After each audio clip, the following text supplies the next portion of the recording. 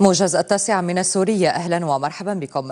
وجهت وحدات الجيش العربي السوري ضربات مكثفة على تحركات المجموعات الإرهابية بريفي حماس الشمالي وإدلب الجنوبي. وذلك ردا على تجديد خرقها لاتفاق منطقة خفض التصعيد واعتداءاتها على النقاط العسكرية والقرى الآمنة. وفي ريف إدلب الجنوبي جدد المستوطنون الإسرائيليون اقتحام المسجد الأقصى ونفذوا جولات استفزازية في باحات بحراسة مشددة من قوات الاحتلال. إلى ذلك دعت الخارجية الفلسطينية.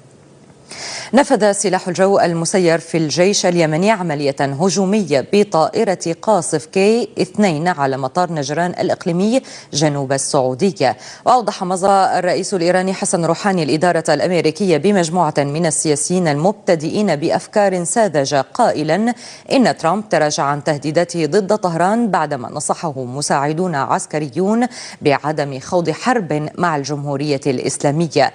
وأضاف روحاني إن وحدة الأمة الإيرانية غيرت ختام الموجز بأمان الله.